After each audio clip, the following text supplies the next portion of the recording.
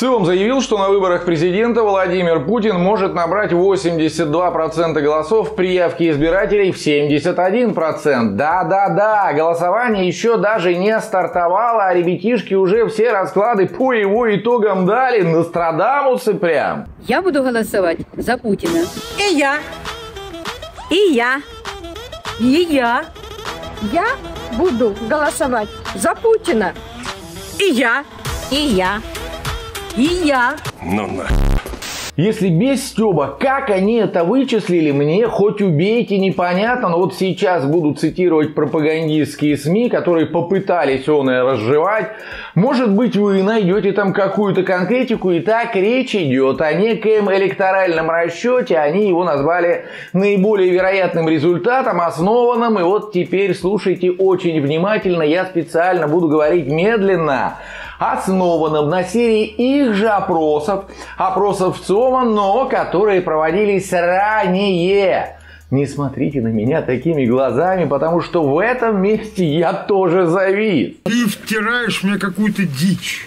Хорошо, давайте попробую все-таки перевести на понятный язык вот эту дичь, которую вы только что услышали. Погнали. Оказывается, Речь в данном случае не об очередном опросе того в ЦОМа, свеженьком предвыборном, проведенном в преддверии грядущего голосования, ну, дабы подстегнуть народ к походу на участки, обычно так делалось, и в принципе это грамотный пиар-ход, но не в этот раз, потому что в этот раз в Центре изучения общественного мнения решили, да нахрен нам вообще кого-то опрашивать, ресурсы тратить, силы, средства, нафига козе баян. Давайте достанем из пыльного сундука уже существующие исследования, что делались когда-то.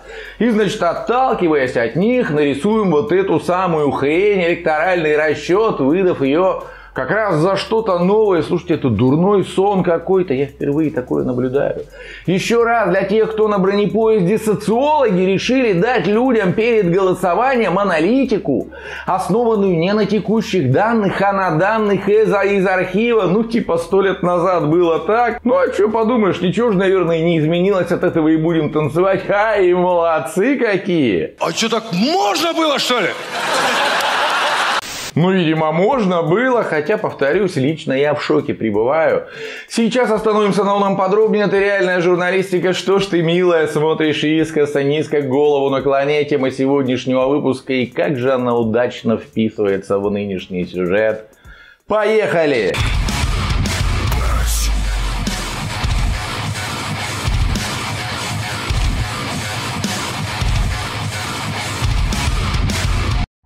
Дальше еще смешнее, потому что когда ребята из ЦОМа попытались разъяснить, как они эти свои расчеты проводились, у меня вообще истерика случилась.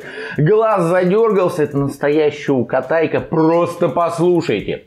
Значит, что именно в их расчетах учитывалось? Учитывалось четыре главных аспекта. Первый – информированность респондентов о предстоящем голосовании, ну то есть где, когда, что, какие кандидаты участвуют, с чем каждый из них идет, идет на эти выборы, ну тут я хотя бы хоть что-то понимаю, да, допустим. Ага. Второй аспект – интерес респондентов к данному процессу имеется в виду к участию в голосовании Здесь у меня уже понимания меньше, поскольку аспект очень объемный, да и как он и можно выяснить за пару минут телефонного общения с незнакомым человеком, с незнакомым, подчеркиваю, я не очень догоняю. У вас есть интерес к участию в голосовании? Конечно, есть интерес.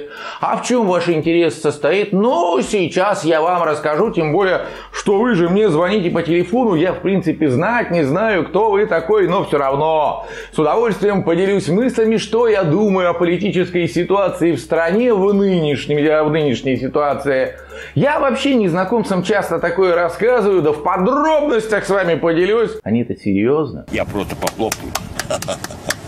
Дальше, аспект номер три – мотив голосования. Вот здесь я, в принципе, долго думал. Каким может быть мотив у среднестатистического россиянина, живущего от зарплаты до зарплаты, а скорее даже выживающего, с кучей проблем, закредитованного по самые уши, боящегося собственной тени, наконец, какая у него может быть мотивация, впрочем, если исходить из того, что вот этот вот расчет, отчет составлялся как обычно, не для нас с вами, а для начальства, видимо, имелось в виду нечто Вроде привычного уже мы живем в великой державе. Нам все завидуют, идем правильным курсом, стабильность, скрепы, традиционные ценности, в общем, все то, что мы последние лет 10 слышим в ящике. Я хочу сказать, что санкции это не то, что нас не сломит, это то, что нам нужно сейчас. Путин вывел страну из позора и нищеты 90-х годов! Отрыжка Болотной площади, что никогда Россия на коленях стоять не будут. Вот эти к нам еще приползут на коленях и будут просить наших новых технологий, наших космических программ, и, буд- и мы еще будем кормить Европу и Америку. Сколько можно, ёп? Ну и самый прикольный, это, конечно, четвертый аспект. Реально, держитесь за что-нибудь. Разные обстоятельства. Вот как это называется, я не шучу. Оно так и называется. А еще у меня, знаете, очень здорово развита фантазия. Слушай, а почему ты проголосовать-то собрался? Ну, у меня, понимаешь, разные обстоятельства. Какие? Да вот, носок порвался. Слушай, у меня тогда разные обстоятельства. У меня диарея. Вот поэтому я пойду голосовать. А, Так я пойду, я вообще с женой развелся, это ж разные обстоятельства. Ну, действительно, только так себе могу представить подобное.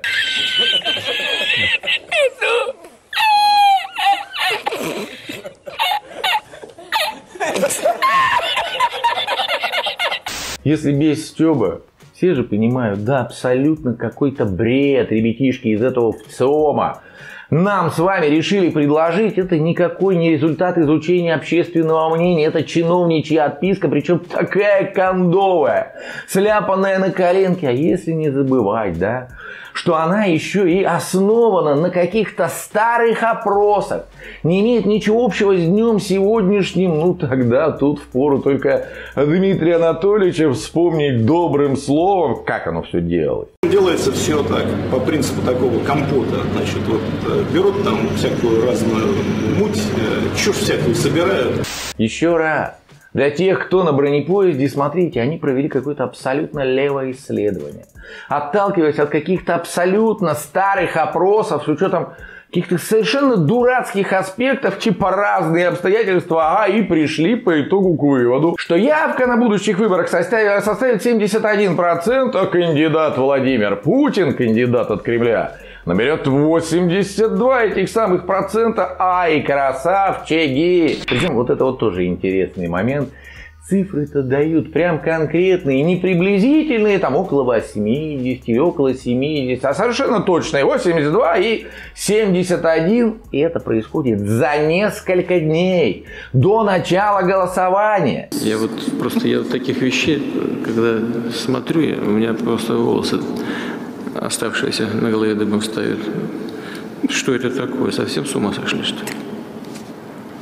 Просто удивительно. Ну да, ребятишкам бы себя в битве экстрасенсов попробовать, при случае даже шепсов на повороте обойдут, ну а если серьезно. Вот в последнее время я часто говорю именно о том, что главные враги режима на сегодняшний день и лично Владимира Путина, кстати, именно их карманные халуи, которые в порыве лизнуть поглубже, только гадят своему начальству. Ну давайте посмотрим правде в глаза. Чего опять добились-то вот этой вот дурацкой медвежьей услугой? Что реально? Кто-то из сомневающихся после публикации данной писульки мнение свое поменяет, а сомневающихся на минуточку немало. Вот почитает это и скажет, нет, все, теперь я решил точно пойду голосовать за стабильность. Сейчас. Напротив, такие вещи только злят людей. Никому не нравится, когда из него делает дурака. Ну а если еще и настолько топорно делают. Нормальный человек он может воспринимать лишь как плевок в лицо посему. Ну а на кого тогда обижаться? В данном случае дураки, простите, из ЦИОМа, а из ЦИОМа провели лучшую антиагитационную кампанию для своих хозяев. И поддержали, кстати, акцию «Полдень». Так получается. Поэтому авторам пол- полудня, ребятам, скорее спасибо надо сказать, да еще и поклониться в самый пояс. Ну такая реклама.